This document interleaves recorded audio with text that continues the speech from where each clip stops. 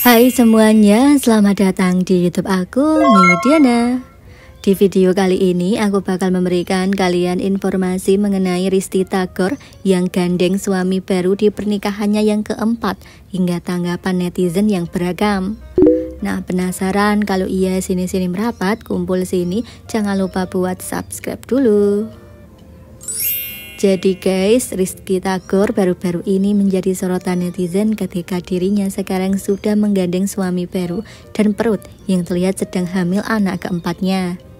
Diketahui Rizky Tagor sebelumnya sudah pernah menikah selama tiga kali dan ini adalah pernikahan yang keempat dengan kehamilan anak yang keempat pula.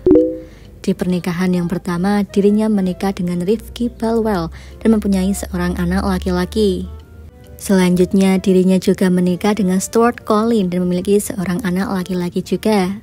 Lanjut, yang ketiga dengan seorang pengusaha juga memiliki seorang anak perempuan guys.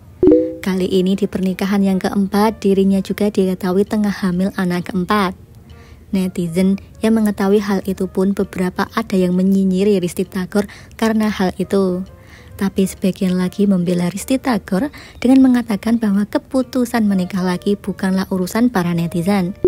Beberapa juga mendoakan semoga di pernikahan yang keempat ini dirinya dan suami yang baru langgeng sampai akhir hayat guys.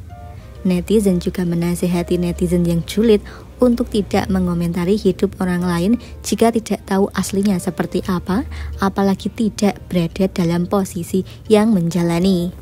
Gimana guys menurut kalian bisa komen di kolom komentar ya.